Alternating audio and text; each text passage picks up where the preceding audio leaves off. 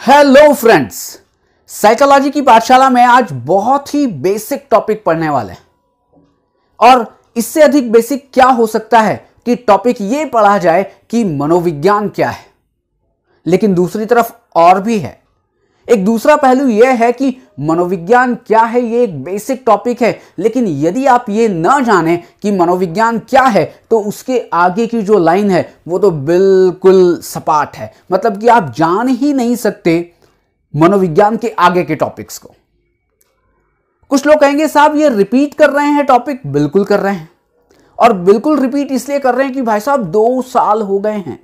दो साल पहले इस टॉपिक पर वीडियो बना था और आज बिल्कुल दो साल बाद इस टॉपिक पर वीडियो बन रहा है। और ये बनाना इसलिए ज़रूरी है क्योंकि रिवीजन तो होना ज़रूरी है ना। अगर रिवीजन नहीं होगा तो आपने सुना ज़रूर होगा कि आगे पाठ और पीछे सपाट कि पीछे के टॉपिक को हम भूलते जाएँगे, आगे नए नए टॉपिक्स पढ़ते जाएँगे। तो आज का टॉपिक क्या होगा? आज का टॉपिक होगा व्हाट इज़ साइकोलॉजी मनोविज्ञान क्या है? जब हम मनोविज्ञान की बात करते हैं तो सबसे पहली बात आती है कि मनोविज्ञान शब्द कहाँ से आया? तो अगर हम इसके इतिहास पर अगर थोड़ा सा देखें, या मैं कहूँ कि ये कहानी सब कब से शुरू हुई तो फिर मनोविज्ञान की कहानी शुरू हुई 1590 से 1590 से 1590 में एक जर्मन फिलोसोफर थे जिनका नाम था रुडोल्फ। रुडोल्फ गोकल आप कुछ लोग इसको कहते हैं रुडोल्फ गोयकल आप जो भी मान के चलें कि ये रुडोल्फ गोकल थे जिन्होंने साइकोलॉजी वर्ड जो है, उसको सबसे पहले इंट्रोड्यूस किया था। अब आपने एक बात ध्यान दी होगी कि मैंने क्या कहा कि 1590 में ये रुडोल्फ गोकल जो थे, वो जर्मन फिलोसोफर थे। इससे एक बात समझ में आ रही है कि इसके पहले मतलब कि 1590 के पहले साइकोलॉजी की अपनी कोई ब्रांच नहीं थी। मतलब कि साइकोलॉजी कहीं से निकल के आया है तो साइकोलॉजी का रूट क्या है? साइकोलॉजी कहाँ से आया है? तो साइकोलॉजी आया है फिलॉसफी से। फिलॉसफी से साइकोलॉजी निकला। अब जब ये 1590 में रुडोल्फ गोकल ने पहली बार साइकोलॉजी वर्ड इंट्रोड्यूस किया था, लेकिन कोई आपसे ये कहे कि भाई साहब, ये साइकोलॉजी आया कहाँ से तो इसका रूट है फिलॉसफी दर्शन। या आप कहें कि दर्शन शास्त्र। और ये बात है सिक्सटीन सेंचुरी की, क्योंकि आप देखेंगे 1590 सिक्सटीन सेंचुरी की बात है। और सिक्सटीन सेंचुरी में जब ये वर्ड आया तो लोगों ने कहा कि साहब साइकोलॉजी वर्ड का मतलब क्या होता है? तो ये देखा गया कि ये जो साइकोलॉजी वर्ड है, ये ग्रीक वर्ड है और दो ग्रीक शब्द शब्दों से मिलकर बना है। एक को कहते हैं हम साइकी एक को हम कहते हैं साइकी या साइकी साइके साइकी और दूसरा है जिसको हम कहते हैं लोगोस ये दो शब्दों से मिलकर बना है साइकोलॉजी साइकी का मतलब होता है सोल आत्मा, और लोगोस का मतलब होता है स्टडी करना, या दूसरा एक शब्द आता है इसके लिए लोगोस का मतलब होता है साइंस तो इससे एक बात निकल कर आई कि उस समय जब साइकोलॉजी वर्ड आया तो आप ये देखें कि साइके मतलब सोल लोगोस मतलब स्टडी और साइंस तो साइकोलॉजी का मतलब क्या हो गया? Psychology is the study of soul या psychology is the science of soul कि आत्मा का विज्ञान है मनोविज्ञान और आत्मा का अध्ययन है मनोविज्ञान। और जब ये सिक्सटींथ सेंचुरी में ये बात चल रही थी तो उस समय तीन फिलोसोफर थे जिनका नाम बहुत ज़्यादा फ़ेमस है और इस बात से जुड़ा हुआ है, जिन्होंने मनोविज्ञान को कुछ समझाने की कोशिश की, आत्मा के परिप्रेक्ष्य में, आत्मा के विज्ञान के रूप में। तो तीन लोग कौन थे? एक का नाम था प्लेटो, एक का नाम था अरस्तु और एक का नाम था डेकार्टे। ये तीन लोग थे जिन्होंने कहा कि साहब, अगर आप साइकोलॉजी को जानना चाहते हैं तो साइकोलॉजी क्या है? Psychology is the study of soul या psychology is the science of soul आत्मा का विज्ञान है मनोविज्ञान या आत्मा का अध्ययन है मनोविज्ञान। ये बात है सिक्सटीन सेंचुरी की। लेकिन जो फिलोसोफर थे, जो मैंने अभी नाम लिए, उन सब के सामने या गोकल साहब के सामने भी कुछ प्रश्न थे। वो कहते थे कि साहब, आत्मा का अध्ययन मनोविज्ञान है, लेकिन लोगों ने कहा कि साहब, हम आपके सामने तीन क्वेश्चन करते हैं। तीन क्वेश्चन क्या करते हैं? आप साहब ये बता सकते हैं कि can we see the mind can we see the soul कि क्या आप आत्मा को देख सकते हैं? तो फिलोसोफर साहब ने कहा होगा कि साहब, आत्मा तो दिखती नहीं है। अब आत्मा दिखती नहीं, एक बात ध्यान रखिएगा। आत्मा हमारे अंदर है, लेकिन आत्मा दिखती नहीं है। दूसरा, उन फिलोसोफर से क्वेश्चन किया गया कि क्या आप अपनी बॉडी में आत्मा का स्थान बता सकते हैं? तो उन्होंने कहा कि नहीं साहब, ऐसे तो आत्मा तो पूरे शरीर में है। और स्थान ये ज़रूरी नहीं है कि स्थान आत्मा का ब्रेन में है, कि स्थान दिल में है, कि स्थान और कहीं पे। कि नहीं साहब आत्मा का स्थान नहीं बता सकते। तीसरा क्वेश्चन ये किया गया कि क्या आप आत्मा का मेज़रमेंट कर सकते हैं? तो उन्होंने कहा कि साहब, जब आत्मा दिखाई नहीं देती, जब आत्मा की एग्जिस्टेंस आप बॉडी में बता नहीं पा रहे हैं तो आप मेज़रमेंट कैसे करेंगे? और किसी भी चीज़ को जानने के लिए उसको दिखना या उसका कहीं ना कहीं एग्जिस्टेंस होना कि वो एग्जिस्ट करती है भी कि नहीं करती है। और अगर किसी भी तरीके से हम उसको मापन कर सकें, हम उसको एसेस कर सकें तो फिर लोगों ने कहा कि नहीं साहब, आत्मा को देख नहीं सकते। तो फिर यह कहना कि साइकोलॉजी आत्मा का अध्ययन है या साइकोलॉजी आत्मा का विज्ञान है, ये थोड़ा सा कठिन काम है। इसको समझना थोड़ा कठिन है। तो फिर नए लोग आए और नए लोगों ने कहा कि नहीं साहब, ये अभी थोड़ा सा ठंडे बस्ते में इसको डालते हैं। तो फिर दूसरी बात क्या हुई? दूसरी बात यहाँ से शुरू हुई थी सिक्सटीन सेंचुरी से। अब ये बात आते आते सेवनटीन सेवनटीन सेंचुरी आ गई मतलब कि सत्रहवीं शताब्दी आ गई। और सत्रहवीं शताब्दी में कहा कि आत्मा को अभी थोड़ी समय के लिए छोड़ देते हैं। अभी क्या करते हैं? साइकोलॉजी क्या है? Study of mind. मन का विज्ञान है। या मन का अध्ययन है मनोविज्ञान। यहाँ पर कोई साइकोलॉजिस्ट के या फिलोसोफर के नाम नहीं है। यहाँ पर केवल बात क्या है, मन का विज्ञान है। हो सकता है वो उस समय के जितने भी लोग थे, उन्होंने मन के ऊपर जाकर अपनी गाड़ी टिका दी। लेकिन फिर वही बात, क्या मन को देख सकते हैं? नहीं देख सकते हैं। क्या मन की एग्जिस्टेंस इस पूरी बॉडी में बता सकते हैं? नहीं बता सकते हैं। क्या मन का मेज़रमेंट कर सकते हैं? नहीं कर सकते हैं। तो फिर क्वेश्चन आया कि साहब, मन को कुछ देख तो पा नहीं रहे हैं। मन की एग्जिस्टेंस आप बता नहीं पा रहे तो फिर मन का अध्ययन करेंगे कैसे? तो भी लोगों के सामने क्वेश्चन खड़ा हुआ। तो लेकिन यह बात मन के अध्ययन पर जो बात जाकी जो अटकी, लेकिन लोगों ने कहा कि साहब, मन का अध्ययन हो तो सकता है, तभी तो कहते हैं, साहब कुछ कुछ होता है। अब कुछ कुछ किसको होता है? कुछ कुछ मन को ही तो होता है, शरीर को तो कुछ कुछ होता नहीं है। दिल तो पागल है, दिल मतलब वो मन। सोच जो है, वो है मन। मतलब कहीं ना कहीं मन को आप कोरिलेट कर सकते हैं। तो मन के अध्ययन पर बहुत समय तक चिंतन चलता रहा। अब इसी चिंतन को चलते चलते पूरी के पूरी एटीनथ सेंचुरी निकल गई। मतलब कि तब तक ये साइकोलॉजी के बारे में कहा गया कि psychology is the study of mind कि मन का विज्ञान या मन का अध्ययन मनोविज्ञान है। लेकिन फिर भी बात अभी तक जमी नहीं, भाई साहब। बहुत सारे लोग और भी आ रहे थे कि साहब, नहीं, कुछ और भी नया होना चाहिए, नया कुछ और भी विकास होना चाहिए। तो फिर आ गई नाइनटीन सेंचुरी। अब नाइनटीन सेंचुरी आई, मैं इसको मिटा रहा हूँ।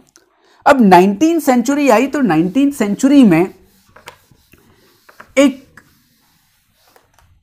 दो लोग, जो बहुत फ़ेमस नाम है, यहाँ पर मैं बात कर रहा हूँ नाइनटीन सेंचुरी की। दो लोग हैं, एक का नाम है विलियम जेम्स और एक का नाम है विलहेम। इस, इसको भी हम विलियम बोलते हैं लेकिन इसका नाम विलहेम है। Wilhelm Wundt. William Wundt. ये दो साइकोलॉजिस्ट आए इन्होंने कहा कि साहब मन का विज्ञान भी नहीं है मनोविज्ञान। अब नाइनटीन सेंचुरी में इन्होंने कहा कि मनोविज्ञान चेतना का विज्ञान है। अब देखिए, कहाँ से बात शुरू हुई थी? आत्मा से बात शुरू हुई, मन पे अटकी। मन से बात शुरू हुई, तब चेतना पे जाके अटक गई। नाइनटीन सेंचुरी में कहा कि मनोविज्ञान क्या है? मनोविज्ञान स्टडी ऑफ़ कॉन्शियसनेस है। Study of consciousness. चेतना का विज्ञान या चेतना का अध्ययन मनोविज्ञान।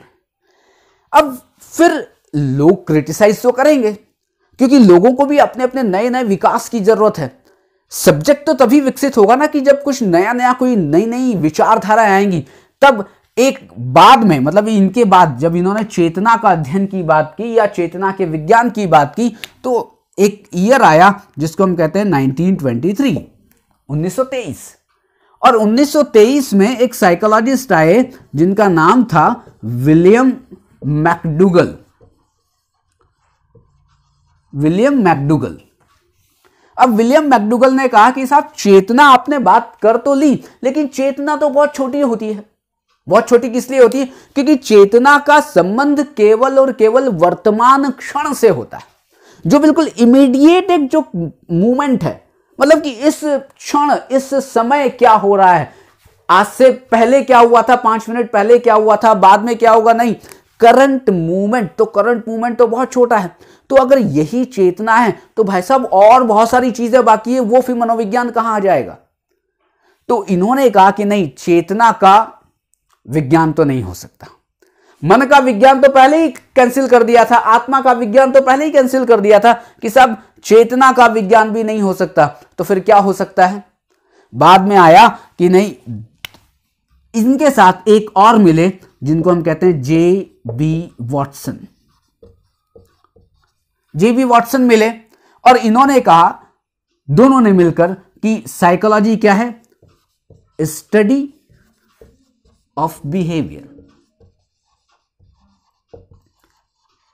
व्यवहार का विज्ञान या व्यवहार का अध्ययन मनोविज्ञान अब लोगों ने कहा कि साहब, व्यवहार को देख सकते हैं क्या? फिर वही तीन क्वेश्चन आए कि क्या आप व्यवहार को देख सकते हैं? तो लोगों ने कहा, बिल्कुल व्यवहार को देख सकते हैं। मैं पढ़ा रहा हूँ, ये मेरा व्यवहार दिख तो रहा है ना। क्या व्यवहार की एग्जिस्टेंस आप बता सकते हैं? तो कहते कि हाँ बिल्कुल शरीर, इस बॉडी में जो भी चीज़ें हो रही हैं, मैं जो भी कुछ रिस्पॉन्स कर रहा हूँ, जो भी पर्पजफुल दिखाई दे रहा है, जो भी मैं क्रिया कर रहा हूँ, वो क्या है? वो व्यवहार ही तो है। तो फिर क्या हुआ? दो क्वेश्चन हल हो गए। क्या व्यवहार दिखता है? बिल्कुल दिखता है। क्या व्यवहार का स्थान इस शरीर पर है, बिल्कुल है, जो भी मैं कुछ कर रहा हूँ, वो व्यवहार ही है। तीसरा क्वेश्चन है कि क्या व्यवहार का मेज़रमेंट हो सकता है? तो फिर इन लोगों ने कहा कि साहब, व्यवहार का मेज़रमेंट भी हो सकता है।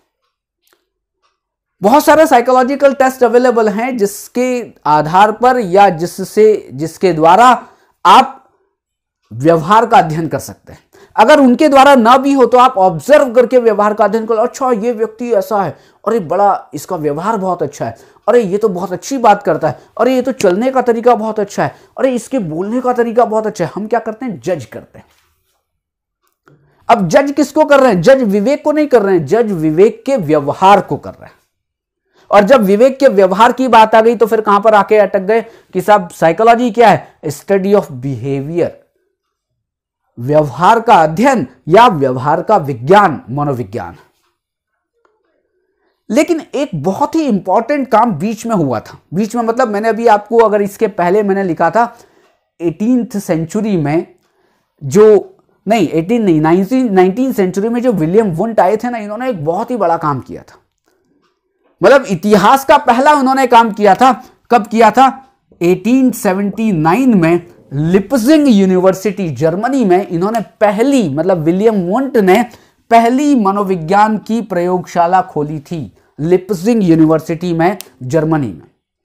और इसीलिए विलियम वुंट को मनोविज्ञान का फादर या एक्सपेरिमेंटल साइकोलॉजी का फादर, दोनों ही, देखिए, एक्सपेरिमेंटल साइकोलॉजी की शुरुआत विलियम वंट से हुई थी। तो दोनों दोनों बातें लोग करते हैं। कि मनोविज्ञान का जनक कौन है? तो भी विलियम वुंट है। और प्रायोगिक मनोविज्ञान का जनक कौन है? तो भी विलियम वुंट है। मतलब साइकोलॉजी और एक्सपेरिमेंटल साइकोलॉजी का फादर किसको माना जाता है? विलियम वुंट को। वो क्यों माना जाता है? क्योंकि इन्होंने एक्सपेरिमेंटल साइकोलॉजी की 1879 में एक लैब खोली थी लिपजिंग यूनिवर्सिटी जर्मनी में। यहाँ तक बात आ गई अब। स्टडी ऑफ़ बिहेवियर अब स्टडी ऑफ़ बिहेवियर में दो बिहेवियर होते हैं। एक होता है कोवर्ट बिहेवियर और एक होता है ओवर्ट बिहेवियर मतलब कि एक व्यवहार ऐसा है जो दिख रहा है, जो दिख रहा है। मतलब मैं क्या कर रहा हूँ वो दिख रहा है। लेकिन एक व्यवहार है जो अंदर है। मतलब कि जो मानसिक रूप से चल रहा है, वो भी तो व्यवहार है। तो व्यवहार दोनों हो सकते हैं। लेकिन आजकल अगर मनोविज्ञान की बात की जाए, अभी पूछा जाए कि मनोविज्ञान क्या है तो मनोविज्ञान में तीन बातें या तीन बिंदु ऐसे हैं या हम कहें कि मनोविज्ञान को समझना हो तो तीन मुख्य बिंदुओं को समझना पड़ेगा। लोगों ने कहा कि मनोविज्ञान क्या है? तो मनोविज्ञान स्टडी है। किसकी? सबसे पहले कहा गया कि मनोविज्ञान स्टडी है, study of mental processes, mental process, experience, और तीसरा आता है बिहेवियर।